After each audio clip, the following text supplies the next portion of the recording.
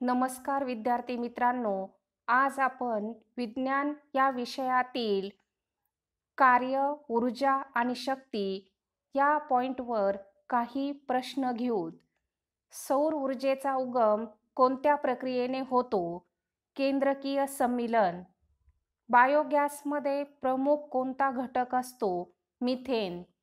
बंदुकीतून सुटलेल्या गोळीमध्ये कोणती ऊर्जा असते? गतीज.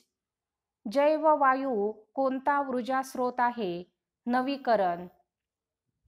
एल पी जीमध्ये कोणते घटक वापरतात? ब्युटेन आणि आयसोब्युटेन.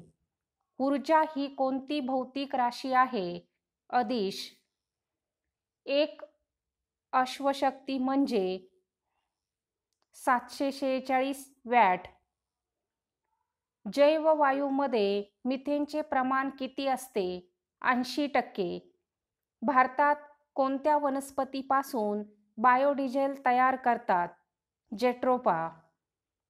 हायड्रोजनचे कॅलरी मूल्य किती असते? एकशे पन्नास जूल पर के जी पेट्रोलियम हे कशाचे मिश्रण आहे? कार्बन व हायड्रोजन. कोळशाचे हवाविरहित ज्वलन होऊन शिल्लक राहणाऱ्या भागास काय म्हणतात? कोक. बायोगॅस संयंत्रणामध्ये बायोगॅस संयंत्र जे आहे त्यामध्ये कोणता वायू तयार होतो? तर त्यामध्ये मिथेन वायू तयार होतो. पृथ्वीच्या पोटामध्ये किती खोलीपर्यंत खनिज तेले सापडतात? पंचवीस किलोमीटर. महाराष्ट्रातील कोणत्या प्रकल्पातून अणुऊर्जा उत्पादन करण्यात येते? तारापूर.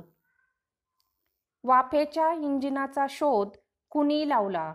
James watt.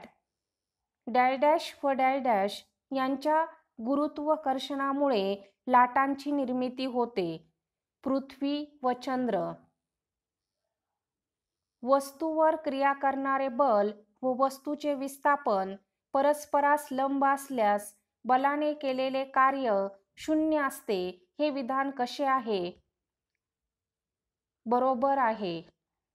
वस्तूवर क्रिया करणारे बल व वस्तूचे विस्थापन. हे परस्परास काय? लंब असल्यास बलाने केलेले कार्य काय होते? शून्य होते.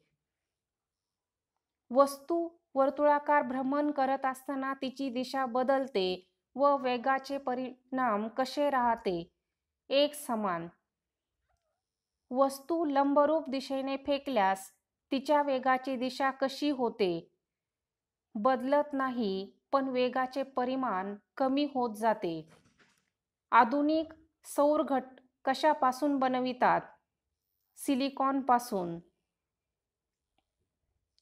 कोकमध्ये कार्बनचे प्रमाण किती टक्के असते? नव्वद ते पंच्याण्णव टक्के. विजेच्या पंख्यात विद्युत ऊर्जेचे कोणत्या ऊर्जेत रूपांतर होते? यांत्रिक ऊर्जेत.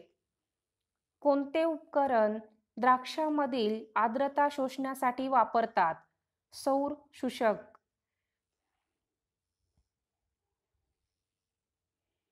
गरम पाण्याचे नैसर्गिक झरे हे कशाचा ऊर्जा स्रोत आहेत? भूगर्भ औष्णिक.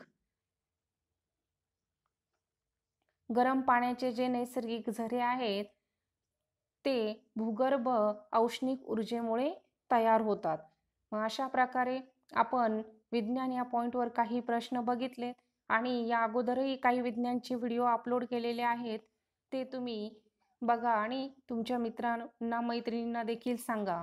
आणि दा इयत्ता दहावीसाठी मॅथ या विषयातील काही व्हिडिओ अपलोड केलेले आहेत तरी तुम्ही ते बघा आणि तुमच्या मित्रांनाही सांगा. हे सर्वच व्हिडिओ म्हणजे इतरही स्पर्धात्मक परीक्षांसाठी उपयुक्त आहेत. चॅनलला लाईक करा शेअर करा सबस्क्राईब करा. थँक्यू